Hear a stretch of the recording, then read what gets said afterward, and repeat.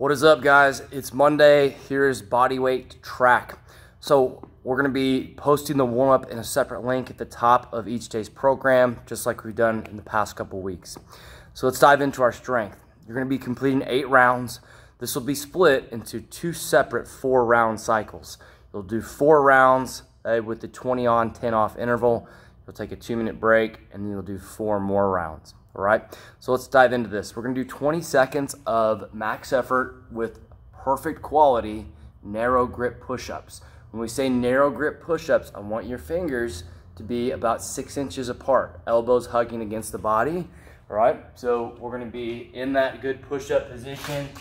Uh, elbows are in, pushing up, one, pushing up, two. Quality over quantity. Uh, this is about how narrow I am in my push-up position as I go. Modifying by elevating on a bench or box, uh, close grip, or modifying from the knees if needed, all right?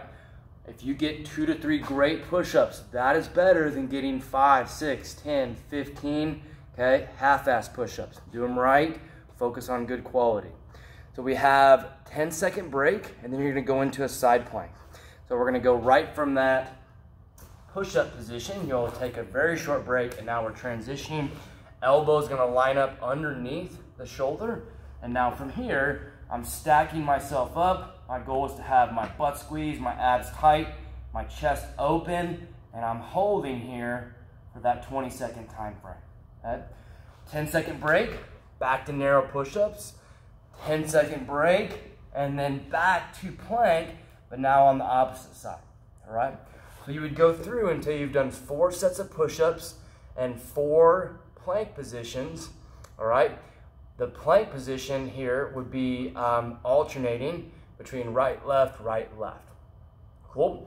So focus on your quality, guys, and if you need to, all right, make sure you use the modifications to hit those quality reps.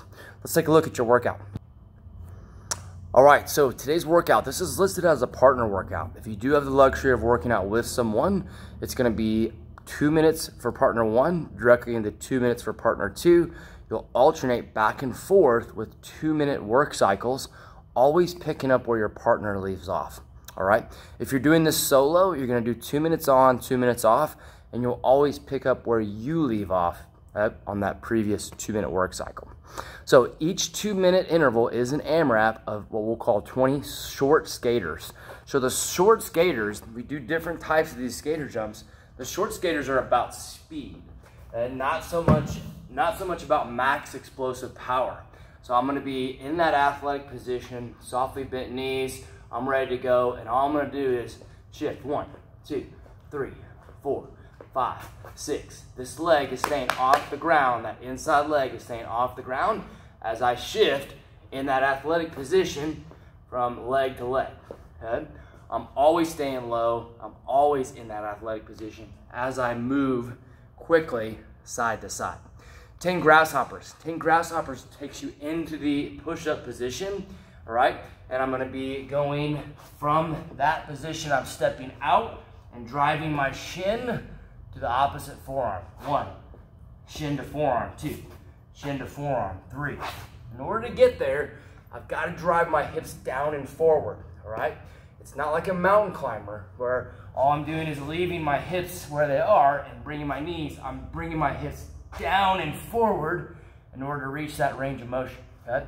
So for the grasshoppers, two equals one. What that means is you've got to get right and left to get your 10 repetitions. Meaning you think that you, if you want to think about it this way, you just do 20. So it's going to be like this. One, two, three. All right? These are tough. Hey, fight through them. Work on correct form. All right? We got five box jump overs. All right? Or object jump overs, I should say. This is your explosive portion of the workout. We keep the reps super low here because I want you to challenge yourself on being explosive. So you're gonna grab something around your house, all right? It depends on your jumping ability. It doesn't matter what it is, all right? So if I'm using this bench here, this would be a good obstacle for me. So I'm gonna work on being explosive. I'm gonna jump up and over. I'm gonna work on landing softly and athletically. I'm gonna turn back around. I'm gonna do just five of those, all right? I want you to challenge yourself with something that's tough to jump over, but you can clearly land softly and athletically every single time, all right? So, hope you guys enjoy the workout, all right? Speed on the skaters, uh, work on driving those hips down and forward on the grasshoppers, and then let's see some height with some athletic landings on those jump overs. Guys, have a good day. See ya.